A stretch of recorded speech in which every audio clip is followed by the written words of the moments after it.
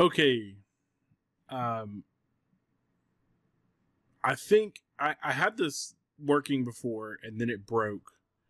So I used this uh, a few times, as you can see my scribblings here. And uh, I'm going to show you this one because this is a, a planned funnel that we did. I don't know. I wish it would tell me the date actually. This is several months ago.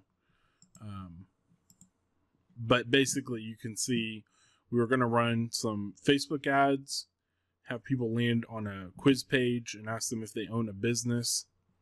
If they own a business, we were going to send them into a funnel where we could potentially sell them ads or um, sell them some business help.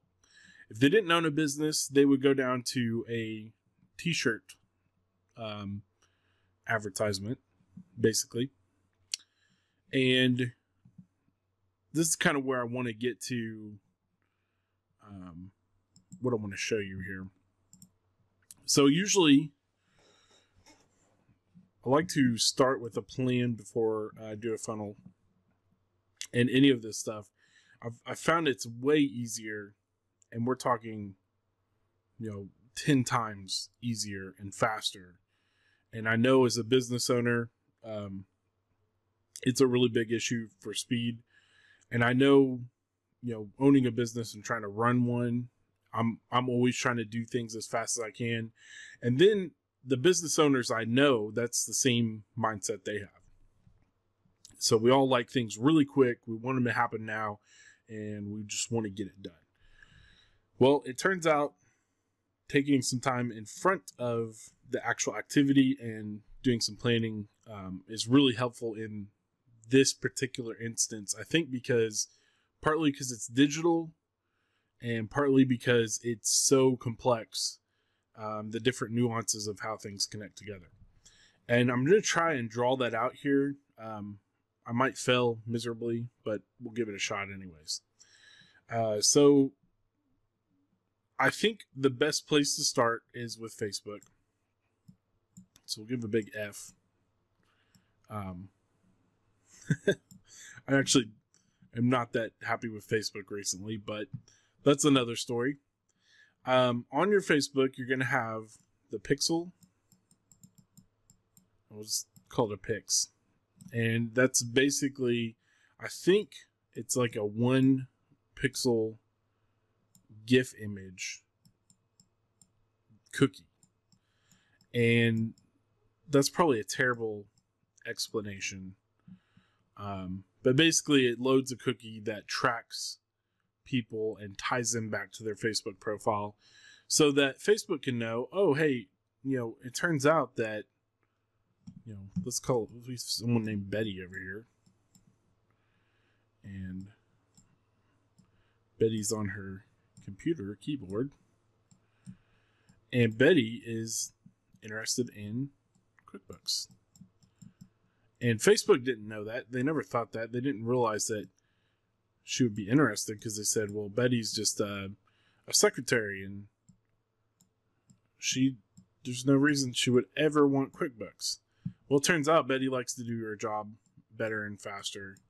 So she wants to learn about QuickBooks. Now, the thing about the Pixel that's cool, or not cool, depending on how you look at it, is this can track across you know several websites and kind of build a profile for someone so it could find out oh betty likes quickbooks. She also likes quilting. It's probably a very complicated choice for something to draw. Um you know might also find out that she likes cooking supposed to be a bowl of food and it can kind of build a better profile so when an advertiser comes to Facebook and says, "Hey, I want to sell a bunch of quilts that have, you know, cooking on them." Facebook can tie these things together using a system called GraphQL, um, which is a whole nother discussion. Um, and you know, say to the advertiser, "Hey, yes, we've got the perfect person for you. We're going to show Betty your ads and she's going to buy from you. And so, kind of our goal is to target the people that like QuickBooks or you know have some kind of relative interest in it that um, maybe we could tie over to other things. So we might say, you know, is a secretary and likes QuickBooks, but you're doing that is it's essential to have the the pixel on your website. And I've shown you, you know, maybe she visits a cooking website and a quick a quilting website, but you can do this same profiling internally, and because it's your own website, you get a little more control, and you get to see stuff like if she went to the cart page, or if she read your sales letter, or if she actually maybe like added it to the cart, but for some reason abandoned it. Um, you can build all these little directives that say, you know, put this person in, let's call it a bucket, put them in this bucket so we can identify them. Now, uh, ClickFunnels has the same feature. It's called Actionetics. And I'm probably spelling it wrong. Um, but it looks terrible anyway, so no one can tell I spelled it wrong. And you can do the same kind of thing. So you could set up these action triggers on different pages and p- put people into buckets. Now, what's powerful about doing this on, um, you know, your ClickFunnels account versus Facebook is the emails you can send out because it's like, okay, she's in the cart bucket, we're going to send her email one. Uh, or she's in the abandonment bucket. So we're going to send her email A1.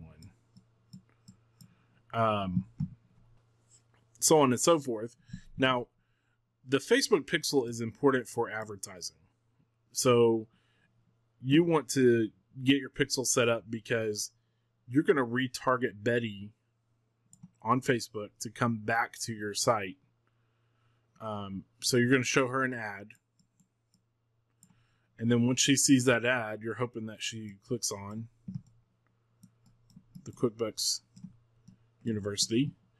And then you can start, you know, applying the action, Actionetics because there there's also this other advanced feature to the Actionetics where if she's been to your site before and last time she abandoned the cart, um,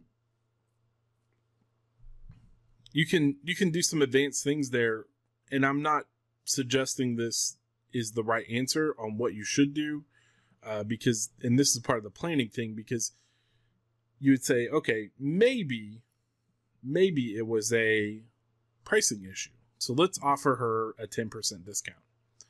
Um, so the the problem with setting up the Actionetics and, and even you know Facebook ads is if you're not watching this really closely, you're kind of going to be bleeding money. Because what's going to happen is you're going to give the 10% discount to people that maybe we're just seeing if there's shipping involved or maybe we're trying to figure out if hey maybe i could get my boss to pay for this. Um, there's a lot of different factors that go into there that you just don't know about yet um, that's why everyone including clickfunnels and, and anyone you're going to talk to is like hey get their email address first now there is a, another option and i don't know if this symbol will mean anything to you. And I don't even know if I drew it right, actually. But Facebook chat is uh, performing way, way better than emails. So, what I would actually recommend at this point is you can get people to um, join on your chat bot. And once they join on your chat bot and you send them a, a message that says, hey, Um, we saw you abandon your cart. Did you need any help with that? They're actually going to respond to you like a human talking to a human instead of if you send an email and they just delete it or maybe they read it and they say i'm going to get back to it later um, if you send them a chat message you're more likely to get some feedback. And you know some people are going to find it creepy and even even though i use this stuff i, I find it a little creepy but i also like it um, and i know it's there.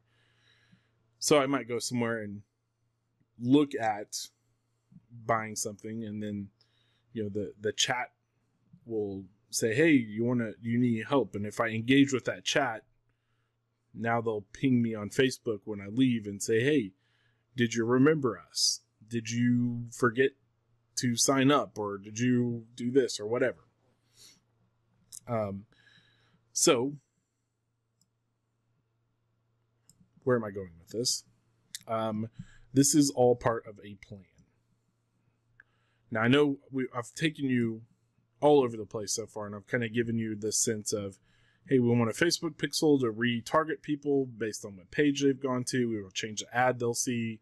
Um, we want to, our ultimate goal is to get them to come to QuickBooks University and eventually spend some money. Um, and really, you know, a even bigger goal you might say is like, well, we want to get them inside of the university so they're learning QuickBooks. And there's a lot of advantages to accomplishing that because the more people you have sign up, you know, not only you're making more money where you can advertise more, but you've got more people that are willing to and more likely to talk about your product and spread the word. So from a functional planning standpoint, you know, we're, we're going to divide this up into pieces.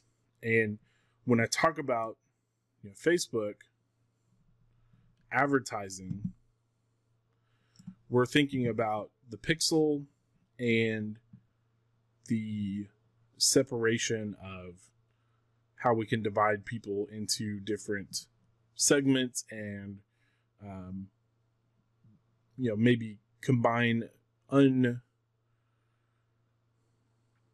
non-typically related things that are actually related if that makes any sense to what i'm trying to say here. Um, and then when i talk about actionetics that's going to be another its own thing. And then when i talk about the facebook chat this is its own thing as well. Um, and then even email is its own thing. So one way to look at this is to say like you know actionetics can control the flow on your website and your emails and then the facebook pixel um, depending on the bot setup and it's actually looking at hiring someone to build a facebook chatbot and there's actually some really good implementations of some cool stuff that I found um, while I was actually looking to hire someone. There's one called Mobile Monkey, and I haven't tried it. I've only kind of checked it out, and it looks pretty promising. I mean, I'm really impressed, and I spelled it wrong here. Put it in there. Um, anyways, it's it's called Mobile Monkey, and it is. Let me actually see if I still got that open.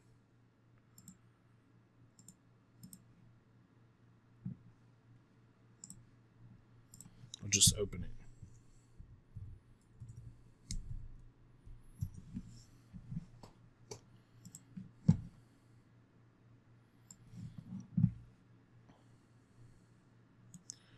So I'm on the fence of, you know, just potentially purchasing this on a monthly basis uh, versus building something.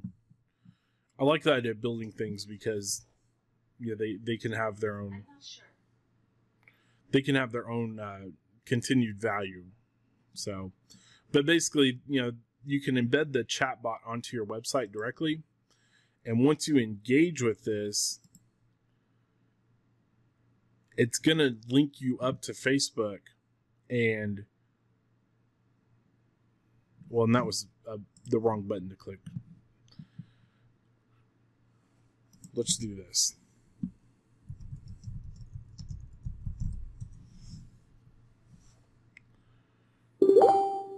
So you can see that it's completely free for personal use, or the pro team starts at forty nine dollars a month. Now, actually, they have a agency price, which is uh, like one hundred and forty nine. And so, I wonder what the asterisk is.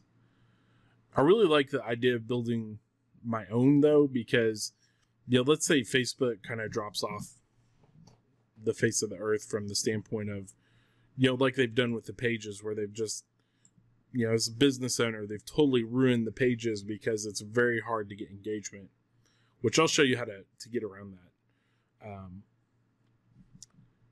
you know, they could do the same thing to chat. And if you build your own thing, then, then you could link it up to LinkedIn and whatnot. I'm kind of getting off topic here, but um, it's just good to know this exists right here. The QuickBooks I mean the mobile monkey, and then I'm gonna make that green. Um, okay, so if if we're thinking, you know, these are our components that we're working with. So I got off the path a little bit here, and we're gonna we're gonna switch things up just a little bit. So ignore this section right now. We should come back to that. Um, what we're looking at is yeah how can you how can you integrate all the the proper pieces and make it all work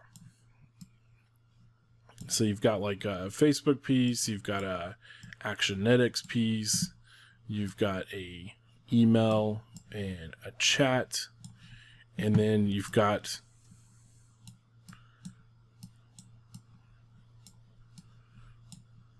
QuickBooks University. And you have to kind of interconnect all these pieces. So we're going to say Facebook, say Actionetics, and email,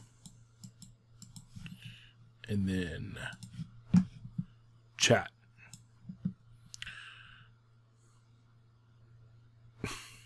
wow, I just realized this could totally be C. And then this is an E. So now we have a face.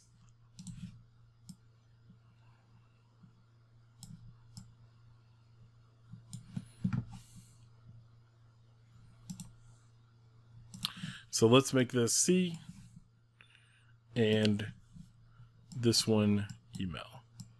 C for chat. So we have face. Face is easy to remember. Facebook, Actionetics, chat, email. And this is actually the order we're going to try and tackle these things in, except for if you're not ready for chat, I'm not going to say you have to use that, but I would highly recommend it. So on Facebook, you're going to build a page. Now, I know you already have a page. You're going to get a business account. And I, I didn't, I think I saw you have that. So you, you have the right thing. Then you're going to set up your pixel. And you're going to put in all your actions. Now there's a new, kind of where I got off track a little bit, is there's a new method for doing the pixel. You used to have to manually type out your um, URL paths and then make sure that you you know like if let's say it's cart so it'd be like something like um, yourwebsite.com, shop, cart, PHP, or whatever. And you'd have to put in like the shop and the cart part. And then Facebook would figure out the rest. Now they've got this thing where you're going to hook it up to your phone and lay out your pixel that way. Uh, so that should be easier. You just have to do all the steps on your phone and add them as you go. I'm actually interested to try that out. I'll, I'll make a video when I do that because um, that's that's going to be pretty cool. You'll take your pixel code and you'll put it into each step of your funnel. And so this is actually from the toy site I was telling you about. And so you go into settings and then track code and you put it in here. Now, what I was where I got off into the tangent is I'm going to build out a good portion of my funnel and make sure it's working before I focus on the Facebook part because I don't want to send traffic to a broken site, especially in including if maybe the site looks like it's functioning but it's not collecting any data.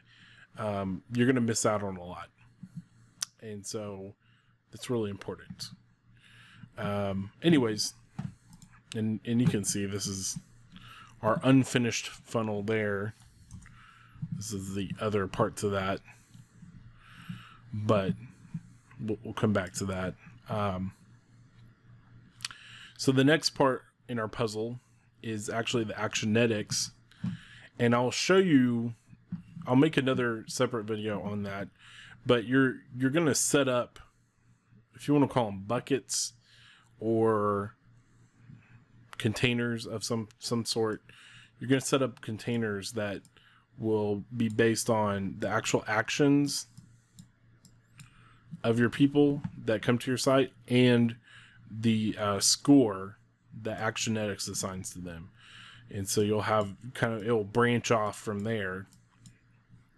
And with Actionetics, you're going to either put them in a funnel or into a email. And it's the both for you know both is the same for each each section. And then you're going to divide your traffic here. Now this is really important because you're going to have uh, hot traffic and warm traffic and cold traffic. So cold traffic is the hardest to convert and um, there are people that don't know what your product is and don't know they need it. Warm traffic is they maybe know they need a solution, but they don't know what your product is and how it's going to fit in. And then the hot traffic is those that like know what your product is, know that they need it, and they want it. They want to buy. And you're going to treat each one of these sections uh, of or these groupings of people differently. Um, of course, you're going to spend the most effort on your your hot traffic to get them to purchase while they're still hot, and then you're going to try and you know turn up the heat on your warm traffic. And this is the easiest, most straightforward way to explain that. Um, to do that, we'll and what I'm getting at here, so we'll we'll have a step plan for each one of these. Like you, you've done most of these things We're on the pixel part. And so I'll make a video about that.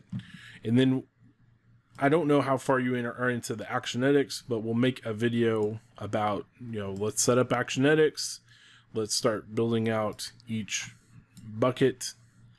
And then, because you're going to have like, let's say you have a hot traffic and they've taken specific actions. Um, so you're going to send them down one path versus hot traffic that ClickFunnels is, is telling you has a low score because it indicates a low likelihood to actually buy. And so it's like, I think this is hot traffic, but if ClickFunnels is actually saying, no, this is not hot traffic, then we want to send them down a different path to test that. And as you send your users down that path, if they turn into buyers, you know ClickFunnels is going to adjust their the way that view it views that. So, uh, and then you've got your chatbot. So as long as you have a Facebook page and you choose a service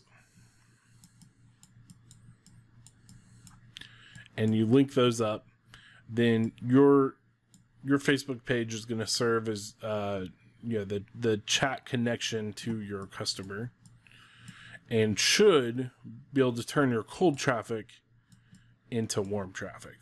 And that's very important um, because a lot of people that are cold are not likely to open emails. You know, they're they're going to say no to those emails. people that are in the warm bucket, they will open those emails, and you know the hot definitely is opening the emails. So you want to move everyone, you know, basically cut, let's say up the ladder. Like you want to move them from cold to warm to then to hot. Um, and so the the chat bot is to take care of that cold. Um, and so, anyways, we'll set all that up, and and there will be uh, a video for that, and I'll try out the mobile monkey, make a video on it, and then the the last thing and kind of the reason I made this last is not only can we say face with our acronym here, but email is is kind of one of the more complicated ones um, because everyone wants to like plug out this series of emails and say hey i've got it figured out.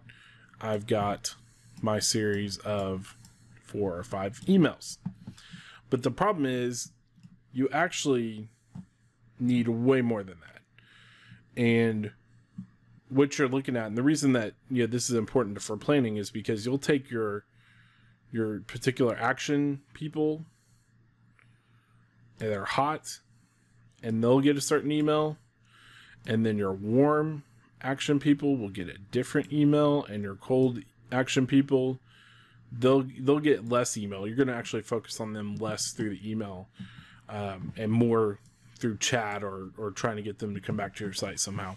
And the reason I love chat so much is because the open rates for you know chat engagement is really super high. So anyways, on your email, you know, let's call this our, our hot traffic email. And this is what is kind of funny to me. This is usually people are like, hey, I have this great email plan that's working so awesome and really, what they have is they've been sending the same email to everybody, and their hot traffic is responding. So they're they're on fire for it already, and they respond. Um, they would actually do a lot better if they had another one that qualified for this. Um, well, let's not use blue. Let's use this funky color here for this warm so you've got this this warm bunch, and you send them a different email chain. And so the difference is when you have a hot bunch, maybe you're you're trying to come over overcome an objection. You might be like saying, let's overcome a price objection, let's overcome a logistics objection, let's overcome some sort of an objection that they have that didn't let them purchase the day they came. For whatever reason they didn't buy. But when you have a warm traffic you might you're either going to be in the point where you're still trying to open their eyes to what your product even is or why it fits into their life so they might be, let's say that's a, you know, warm warm traffic is that secretary, and she's like, "Yeah, I work with QuickBooks all day, every day, but why in the world would I want to um, use it in the evening and learn it better?" And so what you might do is have a series of stories, and th- this I think is probably the most effective way for warm traffic because with hot traffic, you can talk directly to them and say, hey, you know, this is a great deal for you. It's going to save you time and money. Here's a, you know, here's a sample to get you started, you know, that kind of thing. But with the warm traffic, you, you want to turn up the heat. And the way you could do that is to tell stories. So you might start with a story about, hey, this is Betty. She would, and, you know, we're talking to Betty, but this is Betty and she is a secretary just like you and she was stuck in her job and didn't know where to go next and was just going in every day to get the job done. And then she joined QuickBooks University. And you won't believe what happened next because Betty was able to get a raise from her boss And then once she got that raise, she actually got another job offer. And when she got that other job offer, she was so excited. She told her boss she got another raise, and everybody's happy. Betty likes her job better, or whatever, something like that. And then you might tell another story about, um, and and you might actually it'd be better probably to divide these up. So you tell a story about someone who got a raise, someone who made a job change, and then you know someone else that maybe made a, a career change. Maybe they were a secretary and then they became a manager because they learned um, QuickBooks. So your your different stories are going to turn that warm traffic into hot traffic. Because when once they they get it and they've got that aha moment where they're like oh it makes sense. All of a sudden they're warm traffic they're ready to buy. And and you'll tell because when they switch over they're they're going to do a couple different things that you'll be able to see um, which this is where you know ClickFunnels is really beautiful because you're if you're sending your emails through the the ClickFunnels platform and then all of a sudden they're opening every email and they're clicking on every link or they're responding to your emails then you know there's been a shift and something has connected with them. And that's kind of the name of the game. You want to connect with them and then you know going back to the the cold traffic you know with the chatbot a chatbot is perfect for cold traffic because it can ask them engaging questions. And then when it gets an answer or to a point in the chat where it, it can't really move forward um, and I'm, I'm going to show you this when I build the video. It it can say something like hey i'm going to ask someone that knows. Like i'm a secretary i'm going to ask someone i'm going to text my boss whatever. And then it gives them it gives an opportunity to switch to human really easily.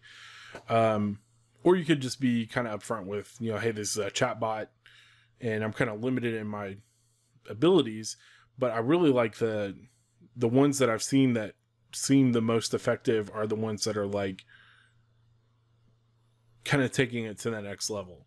So they they take you down a path of finding out as much as they can and then trying to help you um, but they don't do it in a robotic way. And so like a, a, an example i'll use to to describe that is if i came to the site and it said are you a business owner or an employee? And it had two options there and i click on one and then it says are you looking to improve your quickbooks and I say no. I mean, it's kind of ends the conversation.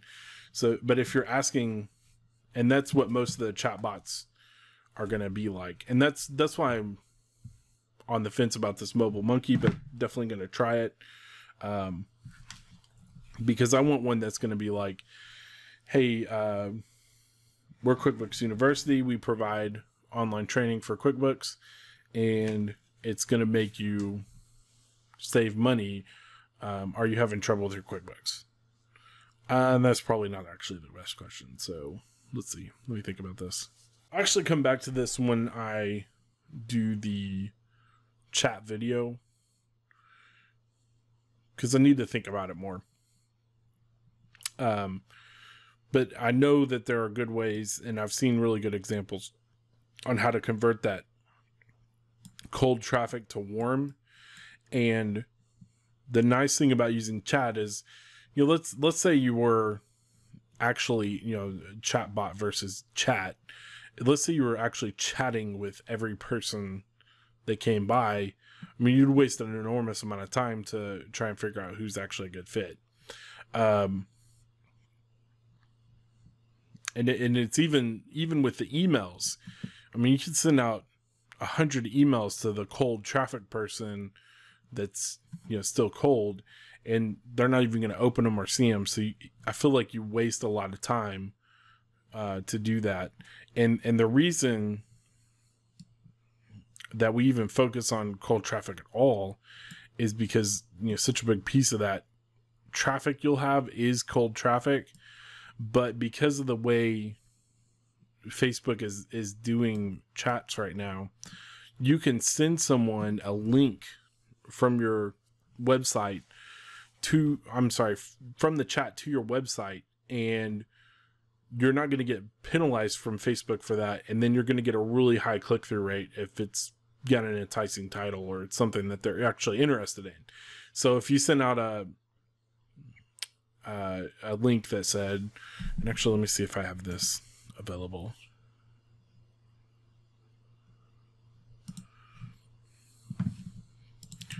So if you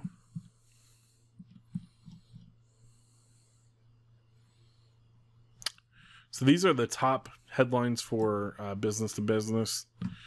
And so you might send out a link that says the